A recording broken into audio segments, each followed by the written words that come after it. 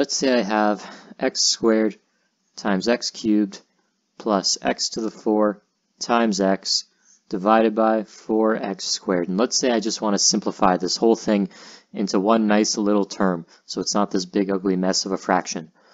Okay, so what's x squared times x cubed?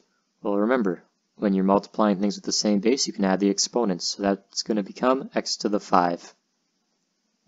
This one over here, x to the 4 times x to the 1, that will also become x to the 5.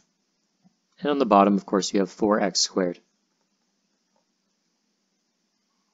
Now what can I do with this? Well, on the top we have what we call like terms. So like terms are when you have multiple terms that have the same variable with the same exponent. If I have 1x5 here and 1x5 here and I add those together, I'm going to get 2x5. That's just adding like terms together. It's like if you had x plus x, you would get 2x, right? Same idea. So I have 2x to the 5 over 4x squared. Okay, so what can I do with this? I'm almost done. I'm very close to being done. All I have to do now is simplify what I have, right? So 2 over 4, that reduces to 1 over 2. So you can put a 2 on the bottom. And then x to the 5 over x squared.